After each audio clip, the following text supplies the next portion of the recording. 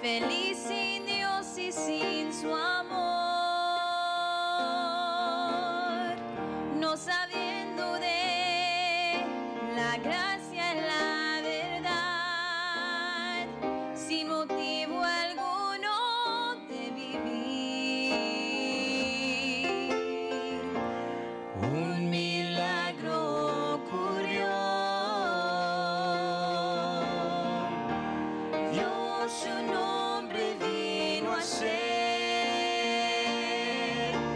sangre que